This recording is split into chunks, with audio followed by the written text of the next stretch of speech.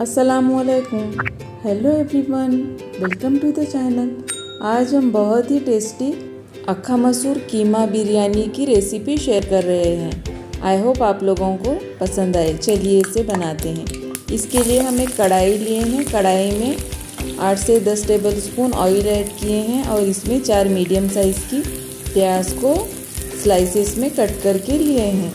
और पहले हमें प्याज को फ्राई करके लेना है। ये देखिए, इस तरह से जब प्याज, बिरयानी की प्याज की तरह फ्राई हो जाएगी तो इसमें से आधी प्याज को हमें निकाल कर लेना है। दूसरी साइड हम ये एक कप अक्खा मसूर को भिगो के रखे थे और अब हम इसको बॉईल करने के लिए रखे हैं। इसको पहले अच्छे से धोकर आप लीजिए और इसमें दो कप पानी ऐड किए हैं, एक चम्मच हल्दी पाउडर, आधा चम्मच नमक और चार हरी मिर्च को ऐड करके हम इसको बॉईल करने के लिए रखेंगे, गलाने के लिए एक साइड रख देंगे।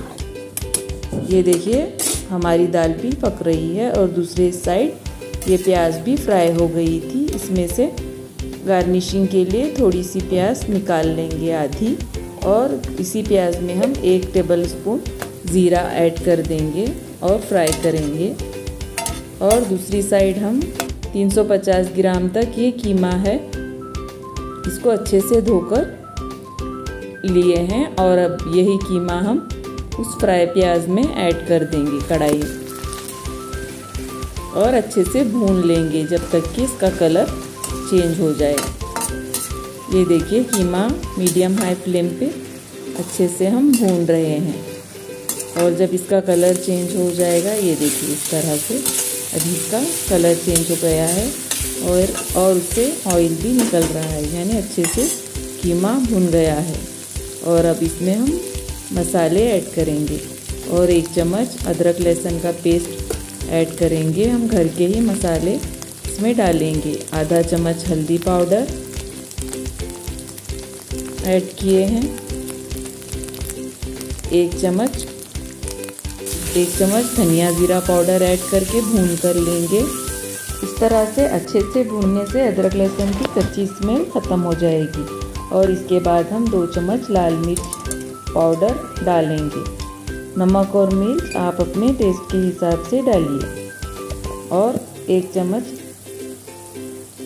नमक डालेंगे और एक चम्मच गरम मसाला पाउडर डालेंगे और अच्छे से मिक्स करेंगे और चार हरी मिर्च को डालेंगे। और दूसरे साइड ये देखिए, अक्खा मसूर भी गल गया है। और अक्खा मसूर का पानी सुखा लेंगे। और दूसरी साइड हम चावल को बॉईल करके ले रहे हैं। जिस तरह से बिरयानी के चावल को बॉईल करते हैं। एक बर्तन में पानी ऐड किए हैं और उसमें नमक डाले हैं। और ये बासमती चावल को हम एक घंटा पहले भिगो के रखे थे। ये देखिए, दूसरे साइड कीमा हमारा अच्छे से भुन गया है और पक गया है। और उससे ऑयल भी निकल रहा है। और अब हम इसमें तीन मीडियम साइज़ के टमाटर को बारीक कट करके ऐड कर देंगे और अच्छे से मिक्स कर लेंगे और ढककर पकाएँगे ताकि टमाटर भी अच्छे से गल जाए। और इस पानी में जिसमें चावल बॉईल करना है, इसमें दो तीन तेज़ पत्ते और खड़ा गरम मसाला ऐड कर देंगे। और ये देखिए अक्खा मसूर का पानी भी अच्छे से सूख रहा है। और ये पानी में बॉईल आ रहा है और अब इसमें हम चावल ऐड कर देंगे और मिक्स कर लेंगे और एक कनी तक हमें इसे पकाना है। ये देखिए, बहुत ही अच्छे से चावल बॉईल हो रहे हैं। ये देखिए, अक्खा मसूर का पानी भी पूरी तरह से सूख गया था। और ये कीमा भी पक गया है पूरी तरह से। और चावल भी दूसरे साइड बॉईल हो रहे हैं। और अब हम इसको एक छन्नी में निकाल लेंगे, एक कनी तक पकने पर।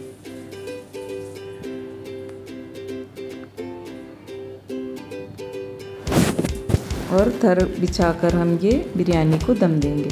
नीचे साइड हम चावल की थर डाले हैं, इसके बाद एक थर अक्खा मसूर की डालेंगे। इस पर चावल, इसके बाद इस पर चावल ऐड करेंगे, दो चम्मच भर के। चावल की तर बिछाने के बाद इस पर फिर कीमे की तर बिछाएँगे। ये देखिए। इस तरह से एक थर कीमा और एक थर अक्खा मसूर हम ऐड करेंगे। इसके बाद हम चावल ऐड करेंगे।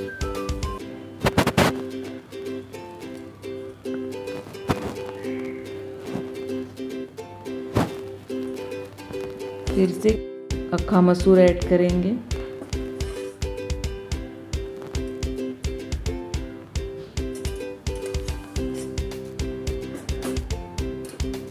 फिर चावल ऐड करेंगे इसके ऊपर।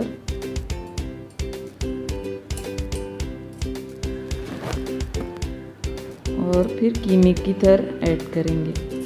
दो थर कीमा, दो थर अक्का मसूर। इस तरह से चार थर हम बिछाए हैं।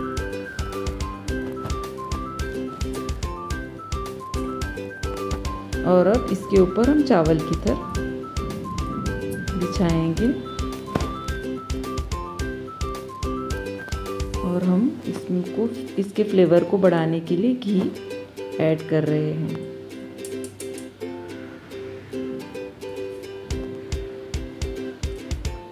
बहुत ही टेस्टी अक्खा मसूर कीमा बिरयानी बन के तैयार हुई थी। और अब इसके ऊपर तली हुई प्याज डालेंगे। और हरा धनिया और पुदीना को चॉप करके, बारीक कट करके डाल देंगे। ढक्कन ढककर लो फ्लेम पर पाँच, दस मिनट के लिए दम देंगे। और दूसरे साइड हम एक कुकर ले रहे हैं और इसमें एक चम्मच तेल डालेंगे। तेल गरम होने पर एक चम्मच ज़ीरा डालेंगे। और आठ, दस लहसुन की कलियों को कूट कर हम डाल रहे हैं। ये आलू और टमाटर की चटनी हम बना रहे हैं इस पुलाव के बिरयानी के साथ।